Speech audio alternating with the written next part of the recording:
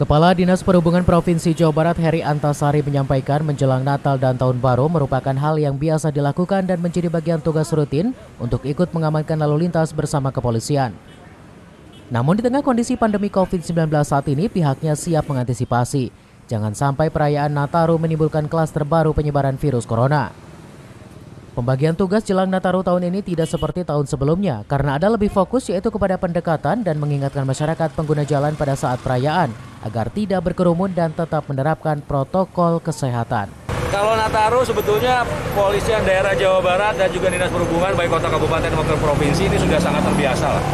Kita sudah sangat eh, apa menjadi tugas yang rutin dan tidak ada yang istimewa sebetulnya. Istimewanya hanya satu, karakternya berbeda dengan tahun-tahun sebelumnya. Ada COVID. Nah, nah, jadi ada prinsip yang berbeda.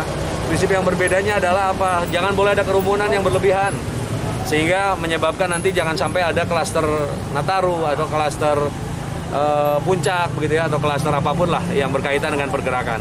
Nah bedanya itu, jadi pendekatannya agak berbeda. Posko yang dibangun juga pasti nanti akan menggunakan protokol kesehatan, banyak cuci tangan dan lain sebagainya, akan banyak pembagian masker, akan banyak pembagian hand sanitizer.